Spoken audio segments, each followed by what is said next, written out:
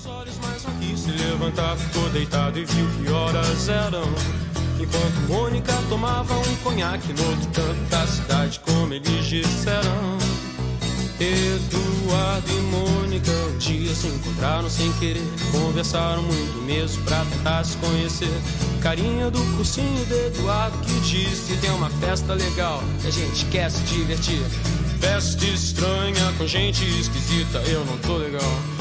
Não aguento mais birita e a Mônica riu. Quis saber um pouco mais sobre o boizinho que tentava impressionar. E o Eduardo, meio tonto, só pensava em ir pra casa. É quase duas, eu vou me ferrar. Eduardo e Mônica trocaram telefone. Depois telefonaram e decidiram se encontrar. O Eduardo sugeriu uma lanchonete, mas a Mônica queria ver o filme do Godard. Se encontraram então no parque da cidade.